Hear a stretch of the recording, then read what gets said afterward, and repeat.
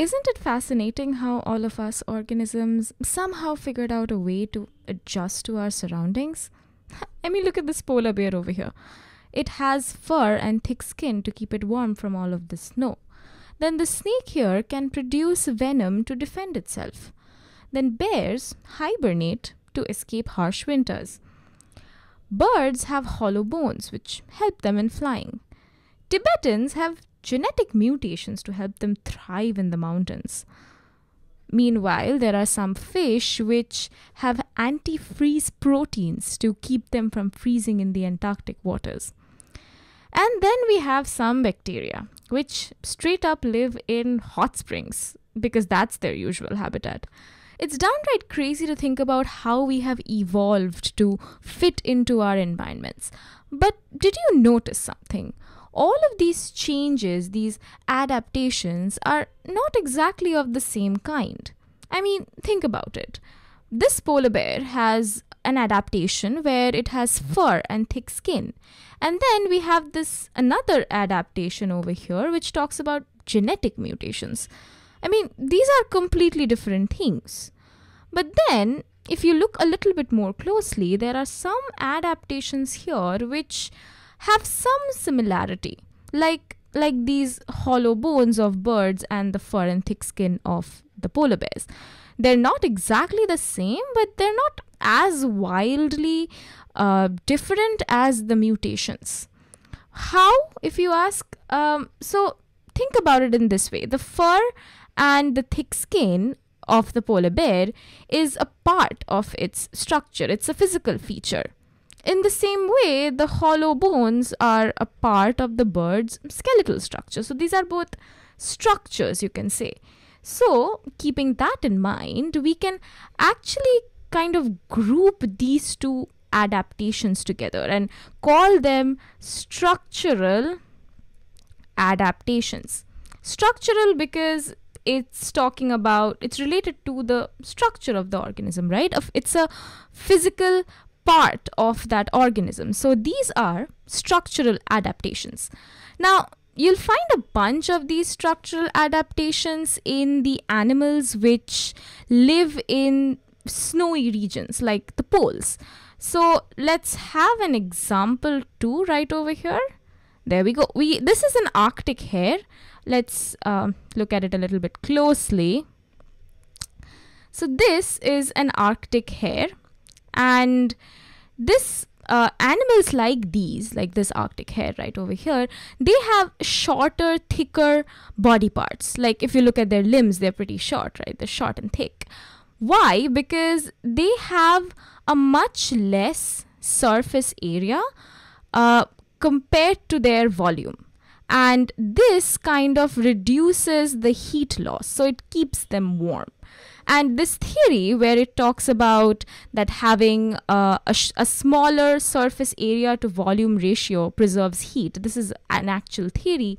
And we call this theory allen's rule. There's actually a name for it. So allen's rule talks about how uh, having a smaller uh, surface area to volume ratio can reduce heat loss. So if we actually have to write it down, it'll be that the surface area to volume ratio, if this ratio is less, that means heat loss will also be less. This is what Allen's rule is, and this is what the these animals they uh, follow as well so that's how they have all of these structural adaptations which help them to retain body heat now structural adaptations aren't just limited to animals only. You will find structural adaptations in plants as well. And a very famous plant is the cactus which is not in the right place. So let's move this a little bit. Okay there we have it. So this cactus right over here has many structural adaptations. Again, let's take a closer look. Now, cacti or cactus, they have spines, right? Now, these spines, they are modified uh, leaves and they are modified in a way to reduce transpiration because these cacti they flourish in the deserts right the scorching heat of the deserts and they cannot afford to lose a lot of water so these spines they kind of reduce water loss through transpiration and that's not all the thick uh, succulent stems that you see these are modified to store water and synth- photosynthesize as well in fact the way cactus or cacti photosynthesize, that way is also different from how normal plants photosynthesize. So it's aimed at saving water. That photosynthetic process you find in cactus is also aimed at saving water. So they have multiple structural adaptations to make sure that water loss is minimal given the kind of habitat they live in. All right, so we have two of these adaptations out of the way. We have uh, decided, we have organized them, and we now know that these two are uh, structural adaptations. Now, let's take a look at the other adaptations that we have on the screen over here. Before we start talking about these other adaptations that we have on the screen, uh, do you think you can add one of these under structural adaptations? Like you can call any of these adaptations as a structural adaptation? You can pause your screen here and actually think it through.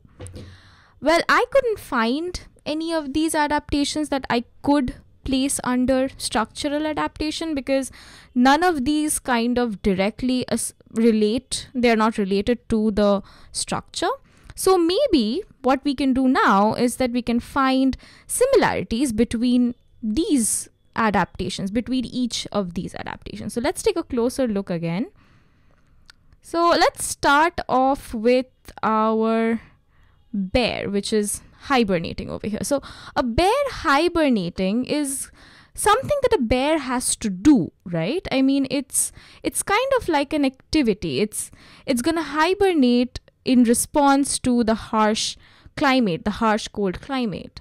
So it's not something so it's slightly different from uh, an adaptation a change directly in the structure. So we can't place that under structural adaptations but these other adaptations, the snake venom being produced, or the antifreeze proteins, even the mutations and the bacteria that can thrive in the hot springs, all of these things, all of these adaptations, they are happening inside the organism's body.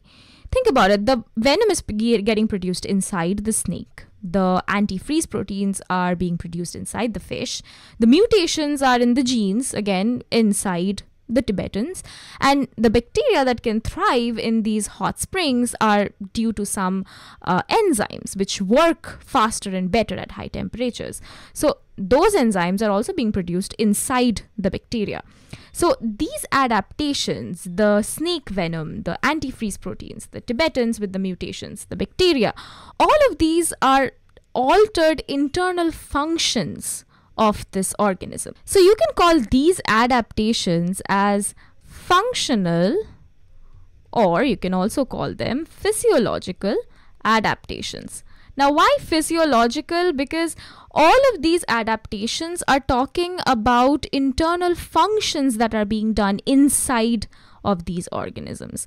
The all of the the venom the proteins. So think of it kind of like the release of uh, certain compounds like toxins or venoms or a higher or lesser production of some kind of protein or some other compound. So all of these things are happening as an internal function. So that is why these adaptations are called functional or physiological adaptations a rather intriguing example of this adaptation is seen in the people who live really high up in the mountains. So let's focus on the Tibetans here for a minute now. As you move higher up the mountains, the air starts to get thinner, or in a way, you can say the oxygen levels start to drop.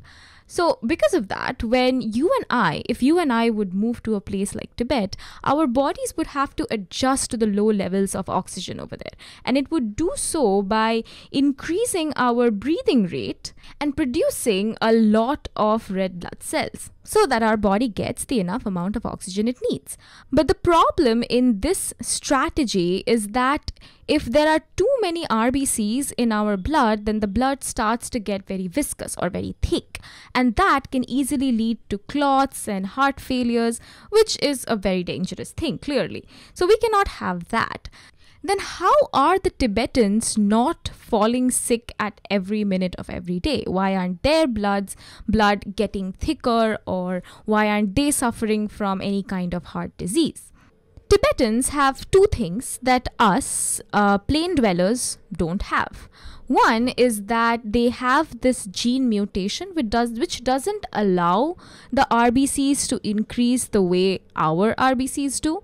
So RBC uh, production is comparatively much less, and this is what prevents the thickening of blood because if there's not enough RBCs, the condition would never arise.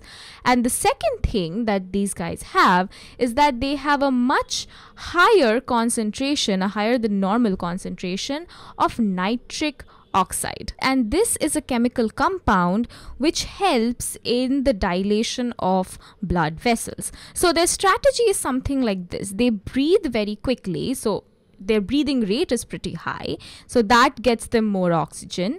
There's the gene mutation stops the higher production of RBCs, which prevents the thickening of blood, and then they have a much higher concentration of nitric oxide, which causes their blood vessels to dilate for a smoother flow of blood. So, all of these things, and mind you, these are permanently evolved physiological adaptations. The uh, the gene mutation and the concentration of nitric oxide being higher, all of these are physical physiological uh, adaptations, and all of this is what helps Tibetans breathe better even at such high altitudes. And when I say high altitudes, I mean like 13,000 feet high from the sea level. Okay, so now we have only one adaptation left that we haven't really talked about. So let's go back to our hibernating bears now. Now, we've already mentioned this. Hibernating is kind of like an activity, it's something that the bears tend to do in order to uh, escape colder climates right? So it's an animal behavior you can say. It's it's a it's a way it's a certain way the animal behaves in response to uh, something drastic like a very cold climate or something like that. And there are other ways i mean there are similar ways that animals behave as well. For example, there are some birds that migrate to better areas to escape again colder harsh climates. And then you'll also see some garden li- lizards. They bask in the sun to raise their body temperature. So all of these things these are very specific animal behaviors. So these types of adaptations all of these the migration or okay, we're going to need a different color for this. So let's pick out another color so the whole migration and the basking in the sun, all of these are uh, specific animal behaviors and they are also adaptations. So we call these things as behavioral behavioral adaptations. So all of these, these are behavioral adaptations. They are associated with a very, very specific innate behavior that these uh, animals are born to do. These, these are uh, behaviors that that's kind of ingrained into them. It's not something that they pick up. It's something that they just know they have to do in order to uh, escape certain things or in order to uh, rea- react to their surroundings. Now, we've been talking about this extensively all this time. We've been talking about adaptations and the different types of adaptations which are available and everything. But if you really had to think about it, how exactly would you define an adaptation? So, we've been talking all about it, but how would you define it? How would you define what an adaptation is? Alright, so some people like to think of adaptation as a characteristic feature or you can call it a trait, which kind of makes it easier for an animal to survive or reproduce in its environment. So it's a characteristic feature or a trait. That's how some people have defined it. So, kind of like, uh, do you remember the peppered moths that we talked about uh, during the Industrial Revolution that they were able to camouflage?